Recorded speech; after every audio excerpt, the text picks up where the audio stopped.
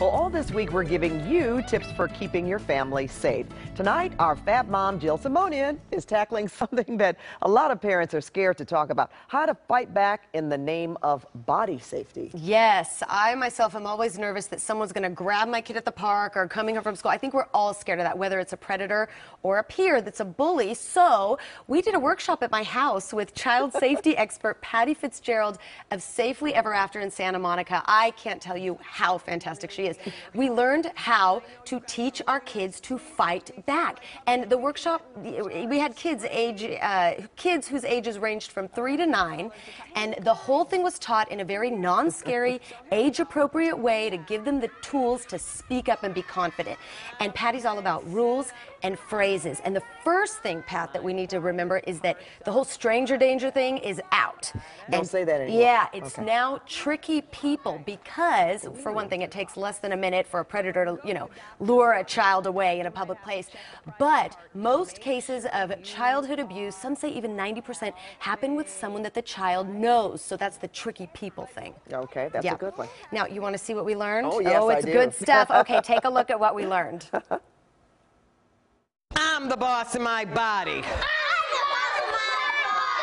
I I will always listen will always listen to my to my uh-oh feelings. uh-oh feelings. Shh.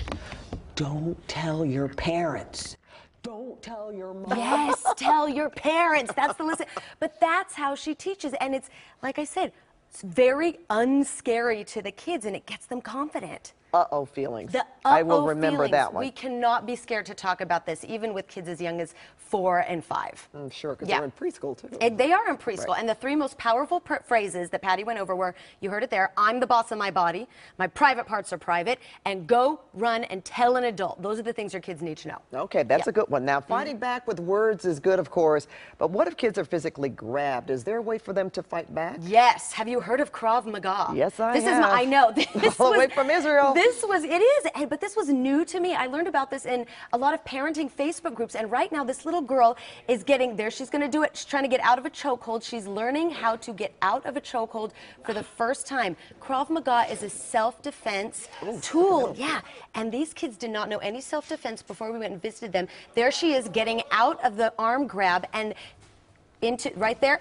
You see, now I don't want to make light of it, but the best thing to do is to kick the attacker in the groin, okay? It's, I mean, eh, you're going to see it right here. Oh, yeah, she's getting out of the chokehold, and she karate chops his arm down, and then you run as fast as you can. But these little kids learned so fantastic, and that was from Krav Maga Worldwide in Sherman Oaks. That's right down the Yeah. street from us, that's Yeah. for sure. Okay, well, that Good is moves. really good stuff. Yeah, that's good right. but is it safe to always tell kids to fight back? Yes, fight back, fight back, run, yell as loud as you can. Pattie Fitzgerald says, don't stop yelling. Okay, thank you so much, Jill. Sure. That almost sounds like what women should do too. Yeah, it's true. It does. It works for us. Well, we're going to have more about Krav Maga and how Pattie Fitzgerald from Safely Ever After can talk to your youth group or school about fighting back from, remember this, tricky people. And mm-hmm. tomorrow, Family Safety Week wraps up in the kitchen. And Jill will have important warnings before you try cooking with the kids this holiday season. Paul, over to you.